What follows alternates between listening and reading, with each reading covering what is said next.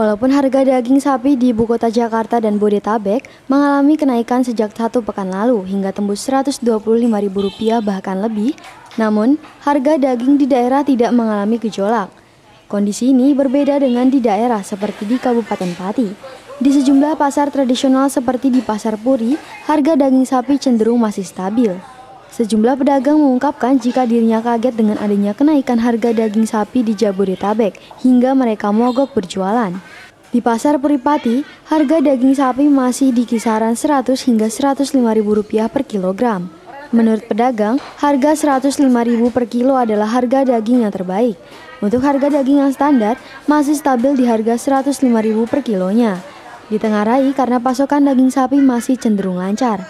Namun demikian, sejak adanya pemberlakuan pembatasan kegiatan masyarakat, penjualan justru menurun. Salah satu pedagang daging sapi di Pasar Puripati Yanti mengatakan, jika rata-rata penjualannya biasanya per hari 30 kg lebih, sejak ada PPKM, penjualan daging sapi turun menjadi 25 kg per hari. Sepi banget, tak. Pakai banget, sepi pakai banget. Ya, barangkali kan pedagang kaki lima kan, si sore kan kadang kan ya ya, kan. Yanti berharap harga daging sapi tidak mengalami kenaikan.